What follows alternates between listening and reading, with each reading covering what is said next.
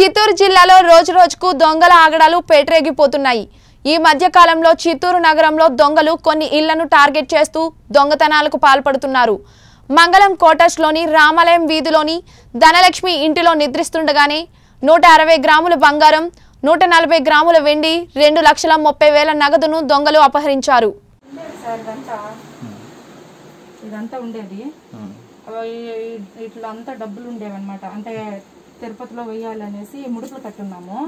వీటిలో ఉండేవి డబ్బులు తీసుకున్నాయి సార్.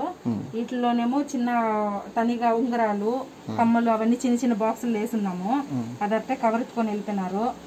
వీటిలో వచ్చి పేపర్లు అయ్యి ఉండేవి అంటే జ్యువెలరీ డబ్బాలు అయ్యి ఉండేవి.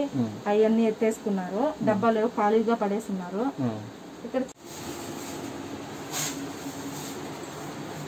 మాట్లాడు.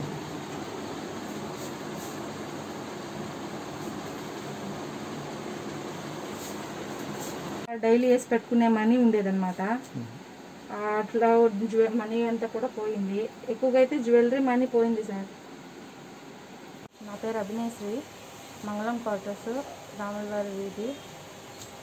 మేము మాది ఇల్లు కన్స్ట్రక్షన్ జరుగుతుందని మంగళవారం నైట్ మేము చెడ్డీ గ్యాంగ్ వచ్చారనేసి మేము వినడం వల్ల మేము ఆ ఇంట్లో నుంచి జ్యువెలరీ డబ్బులు తీసుకొచ్చి మేము ఉండే ప్లేస్లో పెట్టుకున్నాము. మేము ఉండే ప్లేస్లో పెట్టుకున్న కాడికి మేము మార్నింగ్ లేసే కాడికి మా ఇంట్లో దొంగతనం జరిగింది.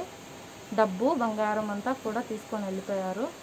మీరు ఇంట్లోనే ఉన్నారు? మేము ఇంట్లోనే ఉన్నాం. మేము పడుకొని ఉన్నాం. మార్నింగ్ లేసే కాడికి నేను మా అత్తయ్య మా మామయ్య గారు మా కోడలు మా కూతురు కూడా ఇంట్లోనే ఉన్నాం. మేము అందరం ఉన్నాము. మార్నింగ్ మేము లేసే కాడికి అక్కడంతా పోయి ఉన్నది.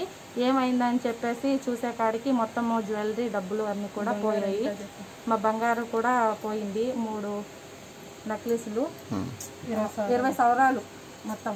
మళ్ళీ చీటీ అమౌంట్ తీసుకొచ్చి ముందు నైటే పెట్టున్నాము. అదొక one and half one and half lakh money మళ్ళీ దేవుడి డబ్బులు సపరేట్గా ఉండి పెట్టున్నాము.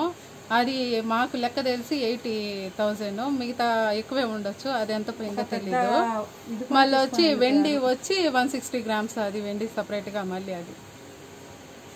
ఓకే ఫిర్యాదు చేసినారు మీరు. ఎక్కడ ఆల్రెడీ